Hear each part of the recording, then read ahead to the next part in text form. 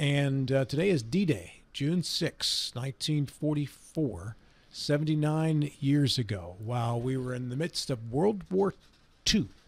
Can you imagine? And actually, both sides of this. You're you're on one of the landing craft, and you're and you're going through these horrible seas to th- this enormous mission. Opening scene of Private Saving Private Yeah, and and how terrifying that must have been. And on the other side, to be in the German bunkers and looking out and seeing every ship in the world out there on on their way in. It just I can't imagine the stress. I mean, the, on on both sides. and of- you're of- 19 years old. and you're 19 years old, and you know you're going to have a very, very, very bad day.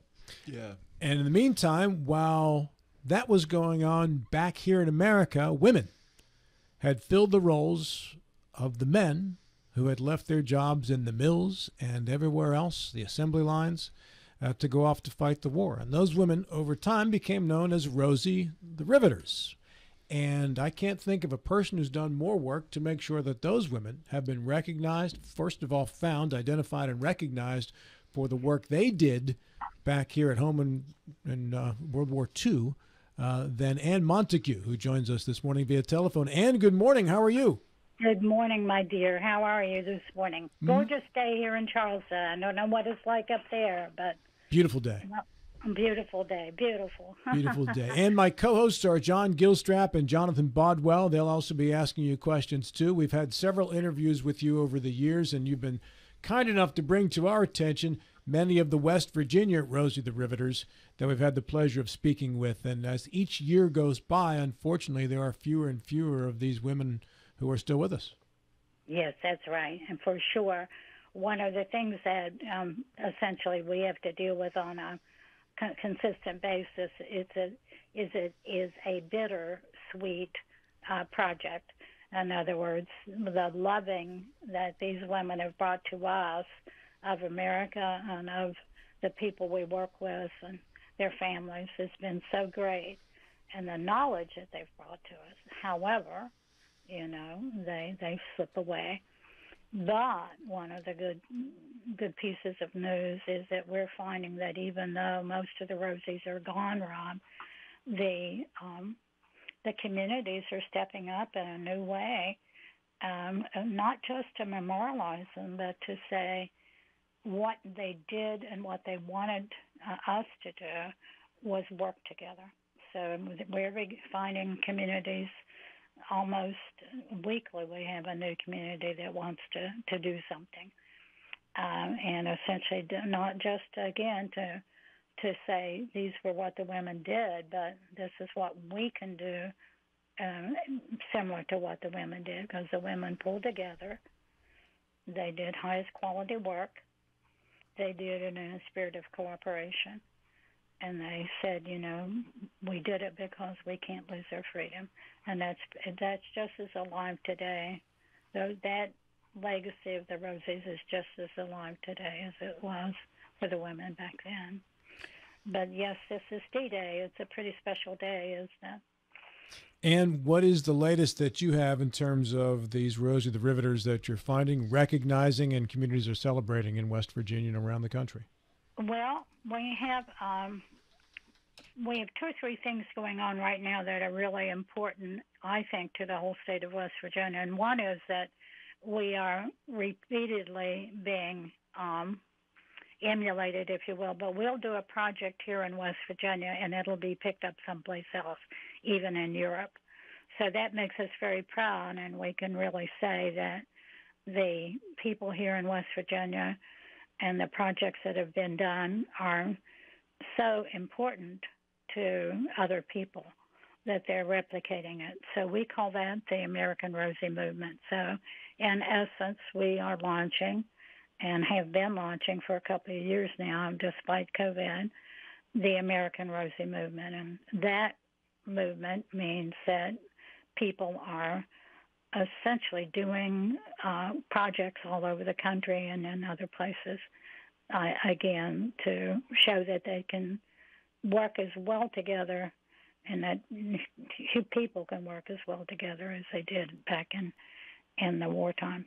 One thing about um, one D-Day that that I want people to remember is most people, when they think about D-Day, if they know it at all, a lot of young people don't know anymore, is they see the picture of the men going from the landing craft into the water, and they really were cannon fodder. It was it was horrific, and um, the but if you take that picture and and put beside it an aerial picture of what it was like there uh, at Normandy, uh, and you see all the ships, all the Goodyear blimps, all the tanks, uh, essentially an incredible, if you will, army, and realize that that's 1944. The women didn't start going into the factories and and and other types of jobs until January of uh, 1942.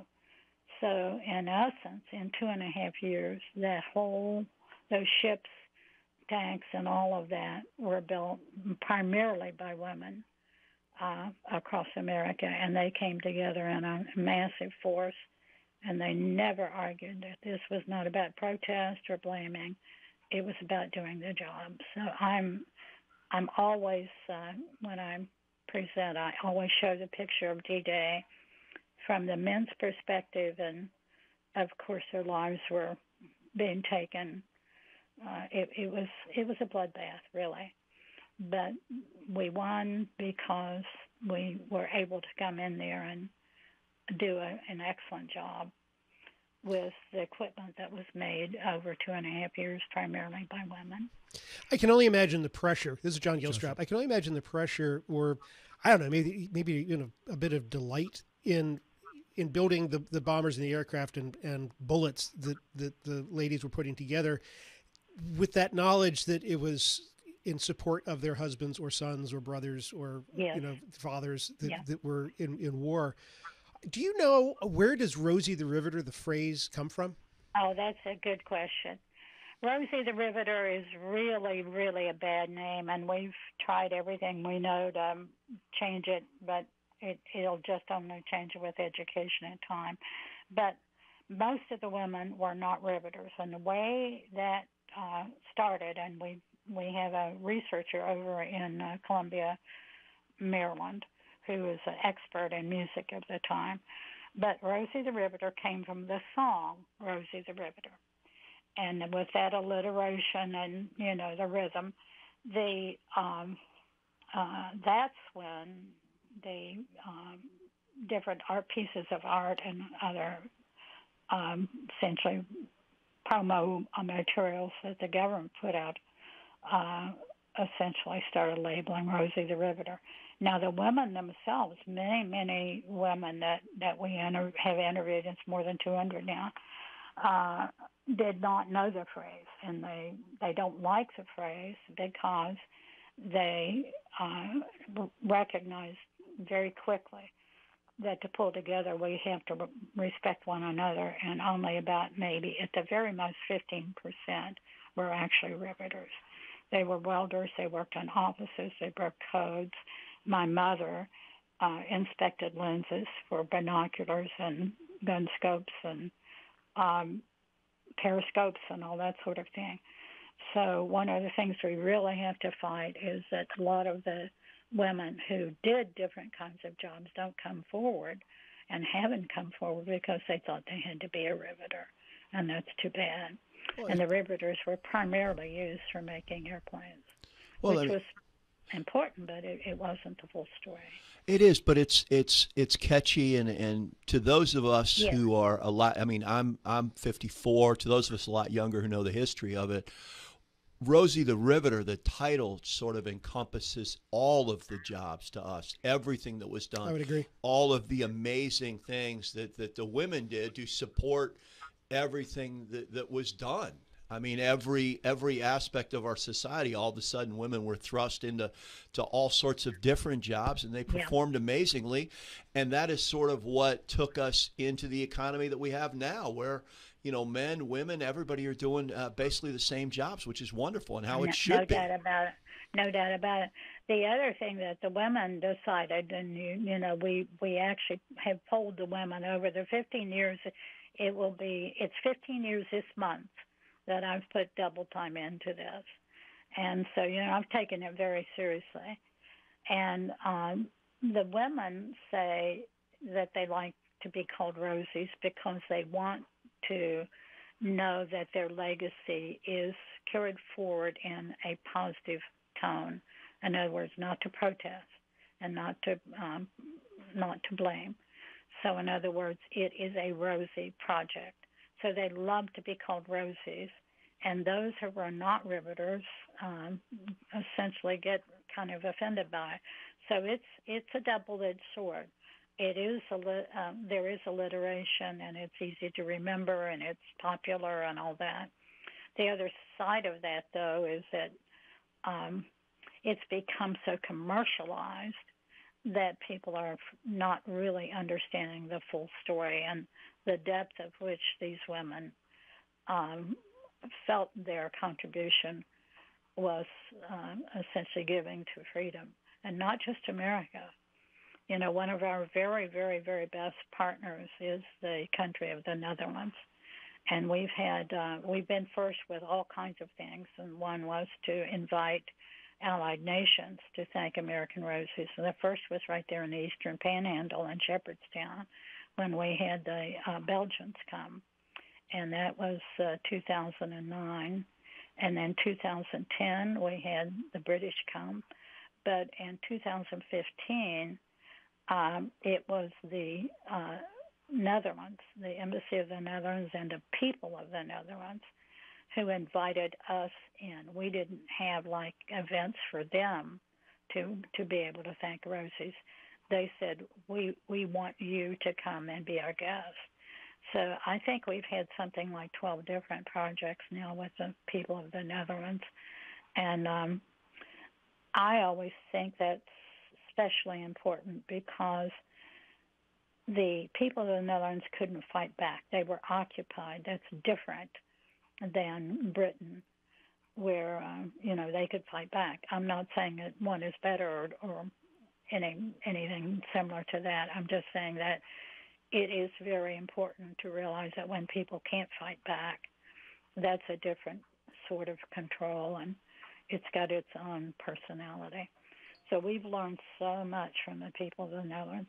As a matter of fact, we just came back May 10th. Uh, on May 10th, uh, in the uh, at the Arlington National Park here near the cemetery, right next to the Iwo Jima Memorial, um, is a carillon that was given to the United States by the people of the Netherlands.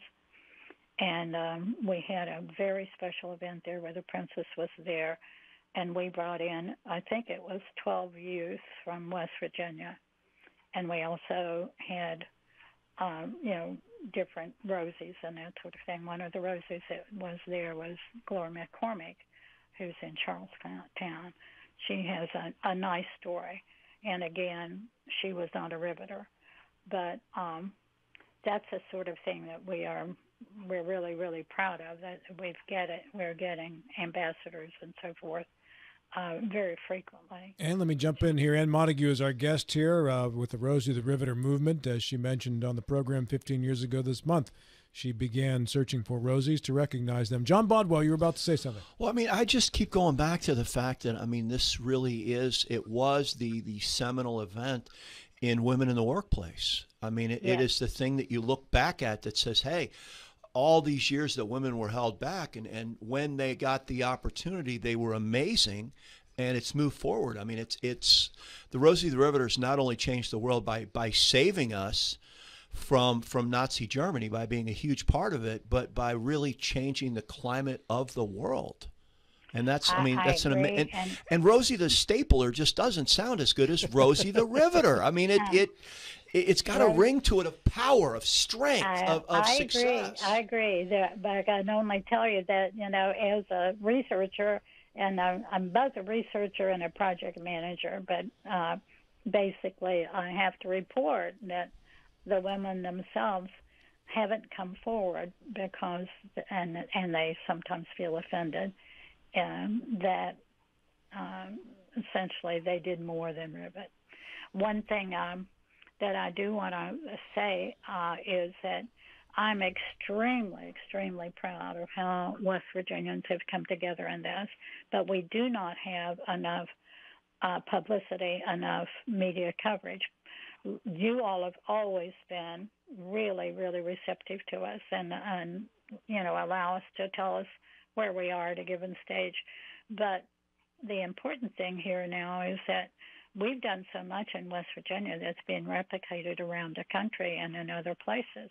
But people here in West Virginia don't recognize that we are leading a national movement and that this 15 years of work with um, all kinds of projects that can be and that are being replicated that we started here.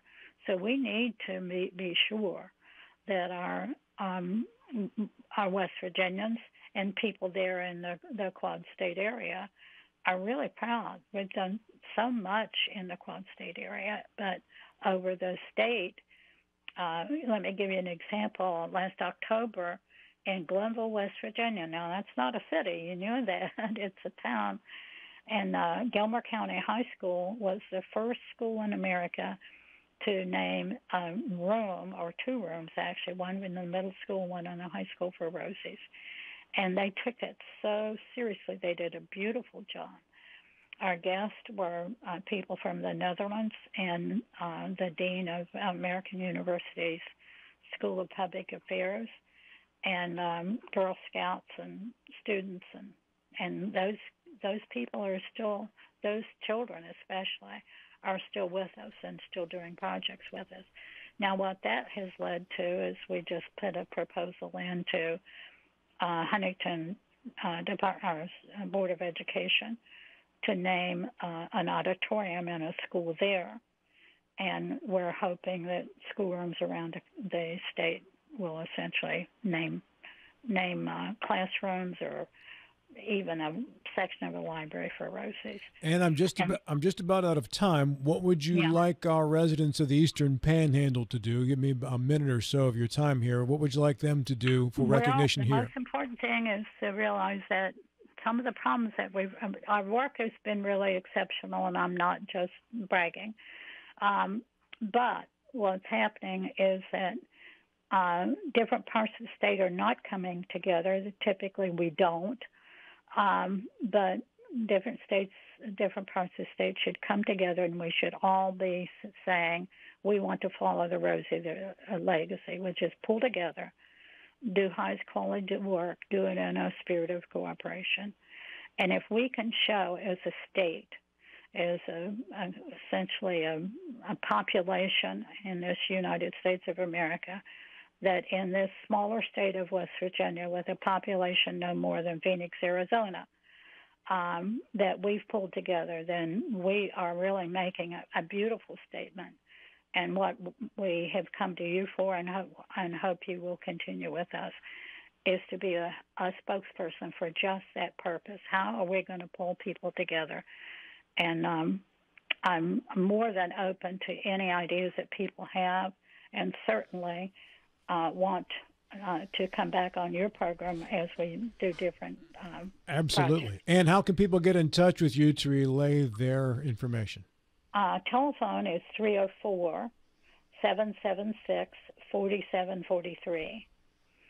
Uh, the website is American Rosie, R O S I E, movement.org. Our email is team, T E A M, like um, mule team, mm-hmm. uh, at AmericanRosieMovement.org. And uh, finally, I do want to say, Rob, that that um, the Eastern Panhandle, we I am now disabled, and since 19, um, since 2016, and I can't travel like I used to. But the Eastern Panhandle uh, reputation was so great when I had to quit driving. So, in other words, just because I'm not out there doesn't mean that we don't appreciate what you do and also appreciate the very, very strong understanding that we've gotten from um, almost everybody we've ever approached in Eastern Panhandle. And on that note, Rosie, I have to stop you for a moment. I got to get to our final uh, minute of the show here. More to come after this.